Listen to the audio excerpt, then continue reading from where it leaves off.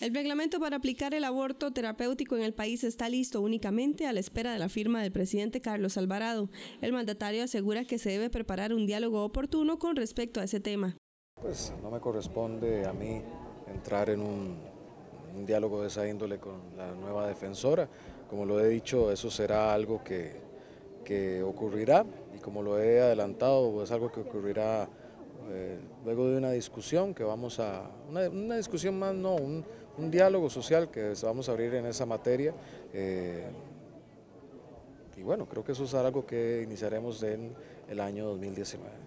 Por otro lado, el mandatario Alvarado está analizando los perfiles de quienes podrían ser su próximo ministro o ministra de Relaciones Exteriores, en los que se especulan como posibles candidatos el ministro de la Presidencia Rodolfo Pisa, la ministra del COMEX Diana Jiménez y el ministro de Comunicación Juan Carlos Mendoza.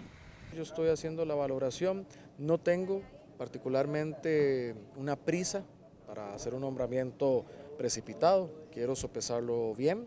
Eh, porque estamos en un momento muy importante en materia política exterior. Estoy haciendo varias consideraciones.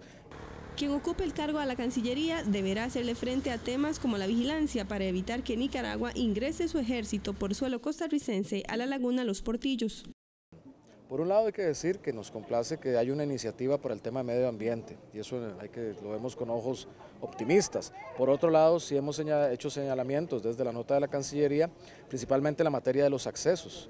Eh, pero bueno, seguiremos dándole seguimiento a este tema, eh, pero espero que no tenga mayores, mayores implicaciones. a la Corte nuevamente? es muy temprano para hacer algo de ese sentido. Yo creo que lo estamos manejando a un nivel diplomático en este punto, como enviando como corresponde la nota respectiva.